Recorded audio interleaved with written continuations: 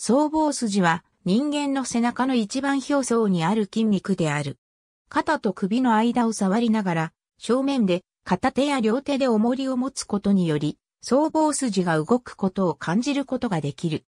僧帽筋の騎士は、外高等流期から成虫を下に降りるように、高人体、上高線、第7胸椎から第12胸椎まで続き、停止は鎖骨の外側1、3、肩方、肩甲骨の肩甲トゲである。筋繊維は首からのものは下に走り、その後腕の方に向かって横に走る。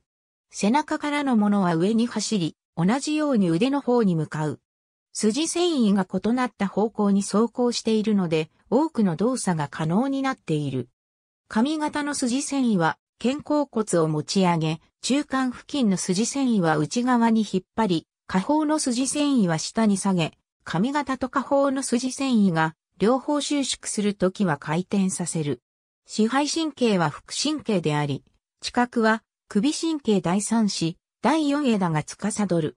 英名は台形を意味する語に由来し、首、左右の肩、第十二胸椎が作る四角形から命名されたものである。和名はカトリック教会の一派であるカプチン回収同士の風土に見立てたことによる。オランダ語のマニークスキャップスピアと同じ語源である。ありがとうございます。